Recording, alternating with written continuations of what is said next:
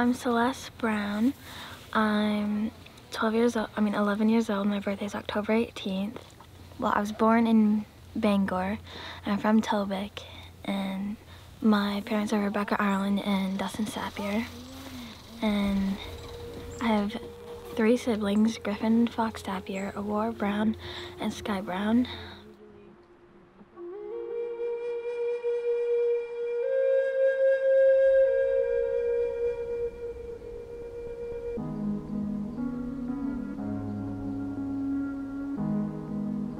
Or something. They'd split, make sharp, they'd be in the middle, and then you'd have two things out here. So you'd sort of pin them, salmon like that, so you'd have a birch bark. So my name is Jamie Gorman. I'm the Resource Development Consultation Coordinator for Tobique First Nation. My job flows out of the duty to consult, so anytime there's the Crown is considering conduct that could potentially impact rights, we work to ideally prevent the impact to rights, but sometimes we moderate or mitigate and modify. So we do a lot of historical research on what our traditional use was on the land.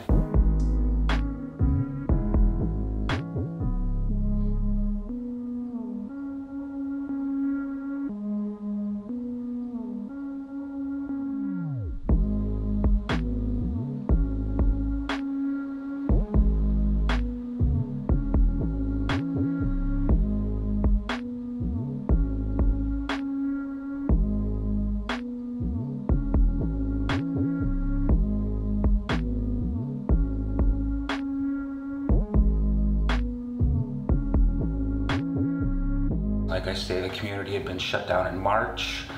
So for all the students and everybody, they were, you know, in their homes. There's nobody sort of knew what was going on. The social distancing and social isolation was taking a toll. We're social beings, and it's important for us to get together and to share story. It's been a critical part of our whole human story. So I believe sort of the pandemic opened up a window where we were able to say, hey, we can take people out on the land, share our story. It's a sort of land-based education type of tool and that it's actually changed a bit on how we're going to be doing work going forward. Like we now will realize that going out on the land is probably more COVID friendly, as long as you're following all the appropriate guidelines. Once you get them out there, you've got that space and that fresh air.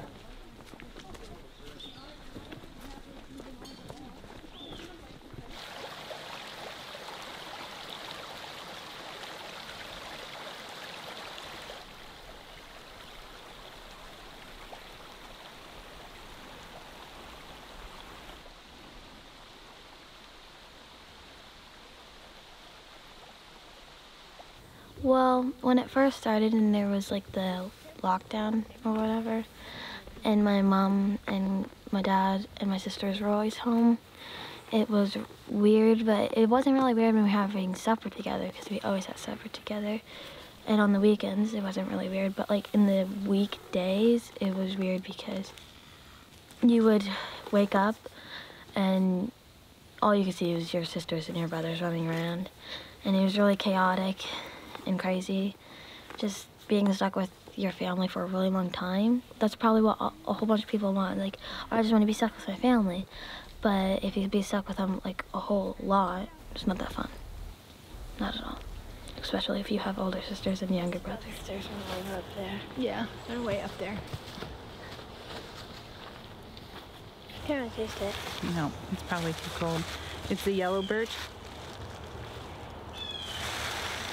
Can you taste it? Kind of. It hurts my stomach. Yeah. I hear blue jays You're and, and the griffin.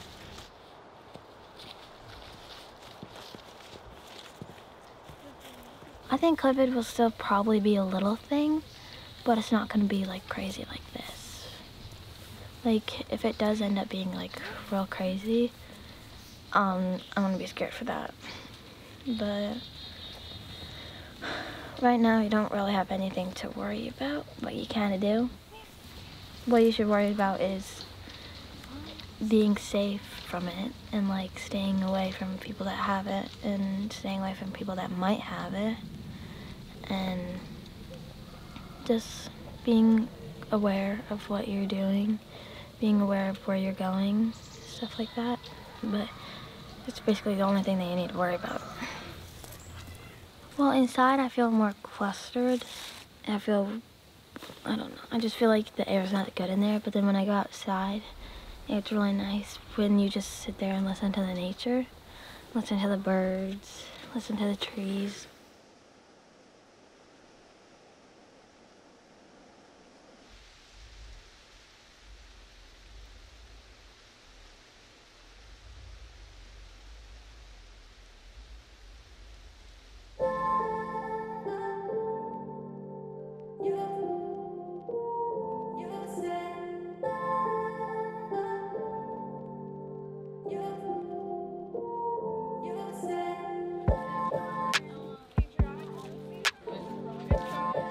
We did the trip to Mount Carleton.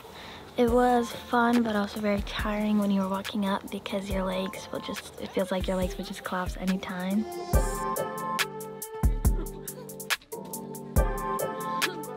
Dorian and I, being the elders of the group, went to the back. Some kids stayed with us and we found some medicines on the way up and we showed kids how to identify golden thread, Coptis trifolia.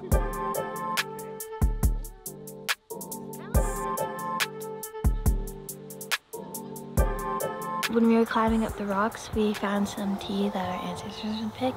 So I picked some and I brought it to my mom. And she actually, she jars it the other day actually. We saw lots of other plants that she described and it was really cool. The golden thread stuff. And she told me about that and how it was like, it means like that the dirt is like rich and good and stuff like that. And there's not really a lot of it. And then the tea that I saw, well, at first I didn't know it was the tea. I asked her what it, this was because it had like these little white on the back. It had this white fluffy stuff. And she said it was tea, so then I picked some for my mom. And then she told me like, when you get home, just leave it in a strainer and put it somewhere high so your brother doesn't get it.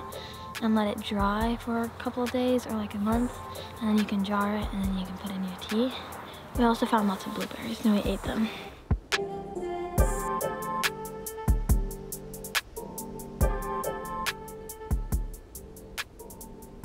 Some people might think, oh, it doesn't really matter to learn about your ancestors.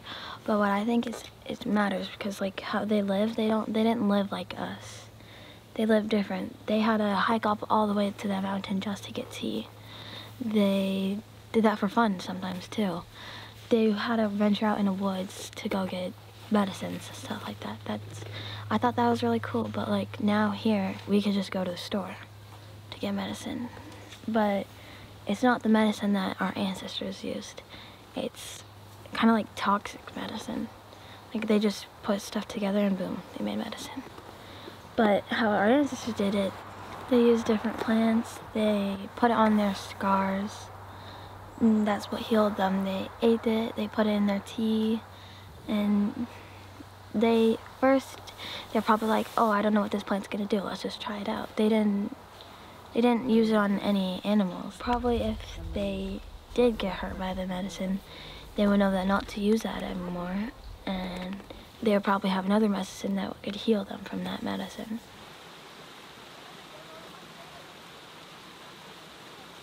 Important thing we're finding in our work in consultation is, is we want to share this information back with our members so that they have a better grasp and a better understanding and a better appreciation of, of our presence throughout our territory and on this land and, and what it means to be connected by ceremony and language.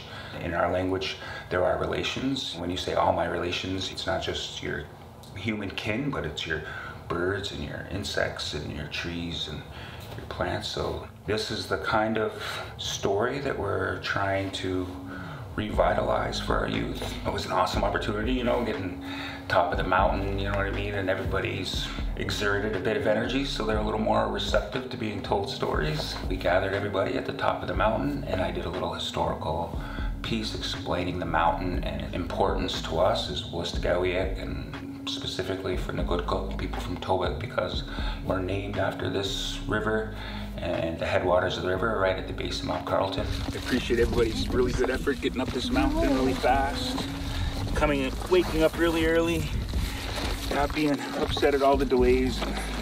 wrong turns. But we made it, made it up that one quick. The thing that brings us all together is we have a connection to Tobique. I know all of your parents, you know, sometimes your grandparents, and your uncles and your aunts, and we're all part of this community. Tobique. This is an important place for people who are from Tobique. This is where our story sort of starts. It was really hard to climb up the rocks because the rocks were really wobbly and that was scary. And I stepped on one of the rocks and it like dipped in and there was like a hole that my foot slid in and it was really scary. We were like the last group to come up and we went up the hard way and we kind of got a little lost too. We got to the top and we were looking all over for you guys. We were saying you guys' names and then we heard we saw you guys wave and we were like, ugh, we climbed the wrong mountain. And then we climbed like five other ones. We went down and then we went up and then down and then up. And what we did is because we went the hard way, we grabbed one of the rocks and put it in our bag. We're like, this is a memory. And then once we finally got to you guys, you guys were like, okay, let's go. But we stayed for a little longer. Well, it was really, it was a nice view where you could see all the other little hills, mountains, and trees and stuff. And I just felt like I wanted to stay up there forever and look at the view. It meant getting like good gasp of air. It was really nice. When you're outside, you tend to get a better response from people. They're more engaged, especially if you're talking about the land. We noticed a change and we feel that this is a viable sort of method going forward for sharing our history and our story. The wisdom and the intelligence that was put in those treaties, as long as the sun will shine, as the grass will go and the rivers will flow. Like, think of how they were thinking about time. They didn't put any limitations. Who's thinking 10,000 years in the future? Not many people are making contracts like that. We did. We have to make it better for the generations that are coming. Our decisions cannot make it worse for them. Climate change is going to be a huge global issue, bigger than COVID, bigger than any of the things we faced in the past. I hope climate change isn't, climate change isn't a big deal anymore. Because me and my sisters were talking and there were we were talking, we were like just calculating stuff and we were saying, well, if climate change were to destroy the world in like this many years, then I would be like 42 and that's, I don't want to die when I'm 42. We have to change how things are done here, and storytelling will be a way that we're inspiring our youth so that they they will be the change makers. So I encourage all you guys just make little things, go out on the land, put some music to it, and we can build a movement. So be responsive to your elders, listen to your elders, and then like I say, use your platforms and the media is available now to tell a story make your networks big with other communities, see what's going on in other communities, things that are inspiring you, see how it works in yours. We're changing how this planet is going to be treated, I think, going forward, and, and I believe a big push is going to come from us as this, you know, indigenous of this land. So I wish you well on your journeys, you know what I mean? That somebody like a drawing to sit on. but sometimes you just need to put your phone away and go on a walk enjoy the nature, listen to the birds, listen to the trees. It's not boring, it's fun. And if you're ever in a hard place, just go outside, sit down somewhere, take some healing time. That's some good advice. I mostly get it from my mama. You're a smart cookie.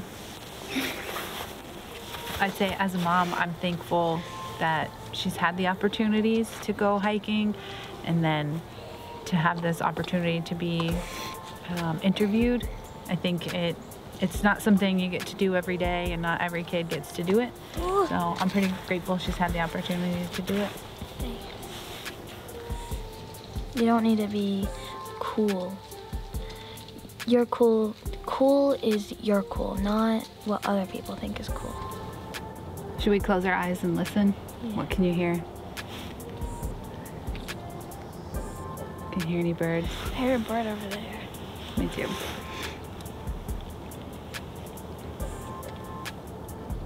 If you're if you're outside and it's quiet, you should just listen to the sound around you. Write write it down. Go outside and write down what you hear. Stuff like that.